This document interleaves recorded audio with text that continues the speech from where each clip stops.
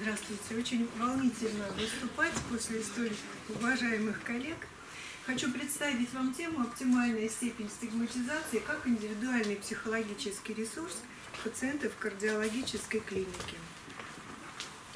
Актуальность обусловлена тем, что 31% всех случаев смерти по статистике 2015 года Всесоюзной организации здравоохранения по причине сердечно-сосудистых заболеваний. И предотвратить их можно путем профилактики факторов риска. Употребление табака, алкоголя, нездоровое питание, ожирение, отсутствие физической активности, э, несвоевременное обращение за медицинской помощью. Назовем это антиресурсы. Если определение антиресурсов – это задача профилактики сердечно-сосудистых заболеваний, то определение ресурсов – задача повышения качества лечения и реабилитации. И наша гипотеза состоит в том, что стигматизация может быть как ресурсом, так и антиресурсом. Задача исследования – определить оптимальный уровень стигматизации и описать его характеристики. Задача психологической помощи пациентам – помочь больному сохранить свою идентичность, э, реализуя свои цели, свои ценности и свои уникальные ресурсы. Антиресурсы мы понимаем как факторы, провоцирующие заболевания, определяющие уровень стигматизации и снижающие эффективность лечебного процесса. Ресурсы же – это средства, наличие и достаточность которых способствует достижению цели, поддержанию благополучия. И наоборот, отсутствие и недостаточность мешает этому. Стигматизация же негативные социальные последствия диагноза, связанные с дискриминирующим постыдным э, стереотипом, которое влечет за собой у пациента чувство вины, стыда, страха, желание скрывать симптомы и остаться в стороне от социальных источников поддержки. Сам же стигматизация определяется как совокупность реакций пациента на проявление болезни и на статус больного человека. Исследование проводилось а, в первой городской больнице соматического профиля города Тольятти, а, в городской больнице номер 38 города Пушкина и больнице Петра Великого города Санкт-Петербурга. Классификация нозологии, формы течения, состояние пациента на момент госпитализации проводилась лечащим врачом на второй-пятый день э, пребывания в стационаре в зависимости от самочувствия пациента, соответственно, МКБ-10. Критериями учитывались как основной диагноз, так и сопутствующие. Критериями э, за исключение из исследования были – нозологическая неоднозначность, острая патология и отказ от лечения. Вот перед вами на слайде Перед вами на слайде методы, которые были подобраны соответственно биопсихосоциальной парадигме а, и математические, статистические, экспериментально-психологические. Я не буду на них останавливаться подробно, я думаю, они всем хорошо известны. В исследовании участвовало 113 пациентов. С помощью кластерного анализа методом Варда был определен средний диапазон стигмы. Э, это 48-60%. То есть 48-60% это средний диапазон стигматизации пациента. Группа пациентов со средним диапазоном составила 32 человека, 19 женщин и 13 мужчин в возрасте от 18 до 65 лет с диагнозом гипертоническая болезнь первой и второй степени, цимикардийное напряжение, функциональный класс 2-3 и инфаркт миокарда.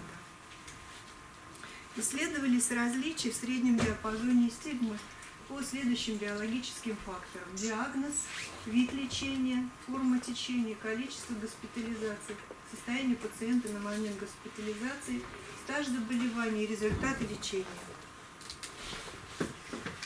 Анализ различий по диагнозу средних показателей э, в разных диапазонах стигмы дает нам, э, позволяет сделать следующие выводы. Минимальный показатель стигматизации у пациентов с инфарктом. Максимальный показатель у пациентов с гипертонической болезнью первой-второй степени. И пациенты, имеющие средний уровень стигматизации, их уровень стигматизации соответствует тяжести, потому его можно считать оптимальным либо ресурсным. Анализ различий по виду лечения в группе среднего диапазона стигмы показывает, что пациенты, принимающие терапевтическое лечение, их средний показатель стигматизации находится в среднем диапазоне стигмы, то есть является ресурсным. Оперативное лечение антиресурсным.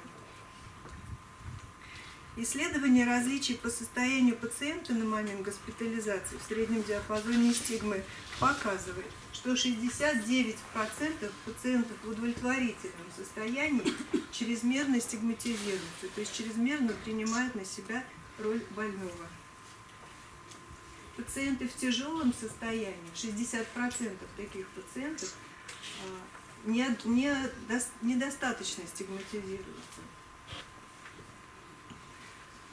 Пациенты в тяжелом состоянии, в среднем диапазоне стигмы э, не диагностированы. То есть пациентов в тяжелом состоянии со средним диапазоном стигмы попросту нет. Зато есть 75% пациентов средней тяжести на момент госпитализации. О чем можно, э, поэтому можно сказать, что состояние средней тяжести при госпитализации – ресурс для формирования оптимального уровня стигматизации. Различия по количеству госпитализаций, стажу и результатам лечения в среднем диапазоне стигмы не выявлены. Однако важно сказать, что относительно феноменов в целом среди биологических факторов – коррелирует со стигматизацией только количество госпитализаций.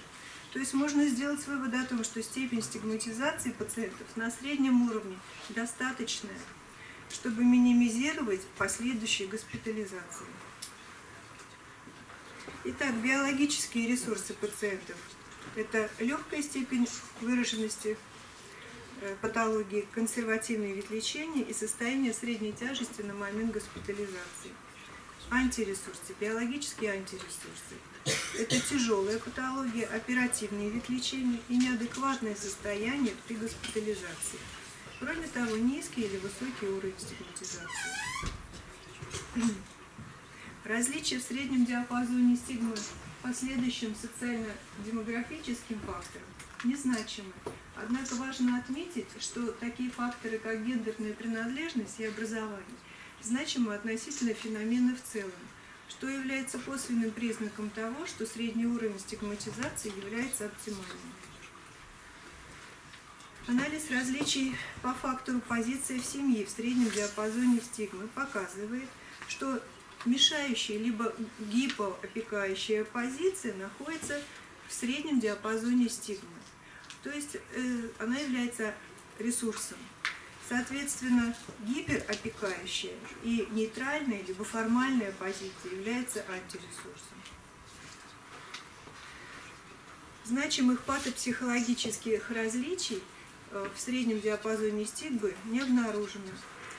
Э, хотя относительно феномена в целом э, были диагностированы особенности, которые говорят про избегающий стиль поведения, обуславливающий социальное нарушение социальной адаптации в виде изоляции или агрессивной конфронтации с окружающими. Неудовлетворенная потребность в поддержке клинически проявляется в повышении тревоги и депрессии. Пациенты, имеющие средний уровень стигматизации, принимающие ограничения диагноз, учитывающие свои физиологические особенности, они получают алгоритм поведения, тем самым справляются с тревожностью что им помогает адаптироваться в новых условиях болезни и получать социальную поддержку. Отсутствие выраженной личностной и межличностной проблематики э, позволяет считать средний уровень стигмы оптимальным. Выводы.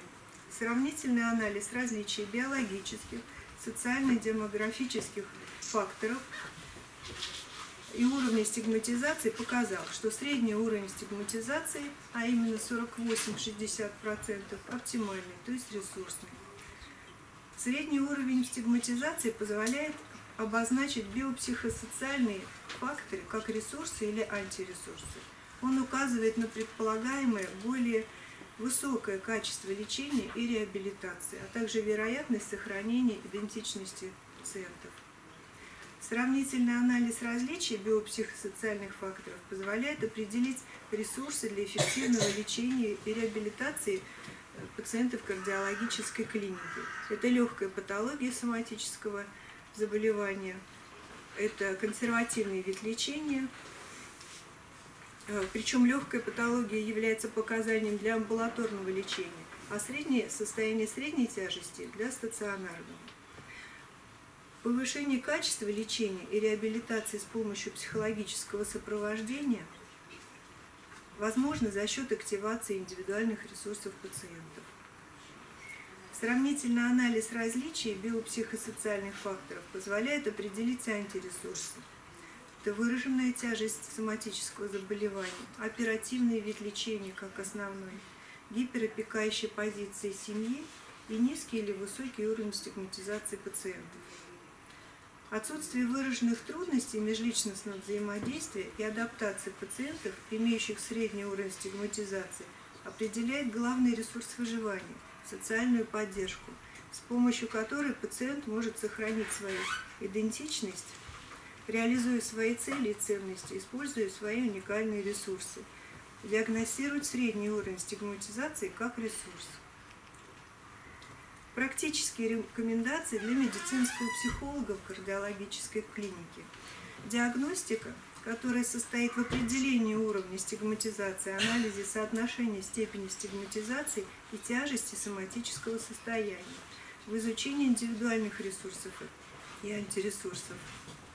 И психокоррекция, которая состоит в формировании адекватной позиции по отношению к болезни и лечению пациентов и их семей восстановлению внутрисемейных связей, в изменении адекватных реакций на болезнь, создании у больных и членов их семей, семей адекватных реалистических установок на лечение, что способствует улучшению состояния больных и профилактике рецидивов заболеваний.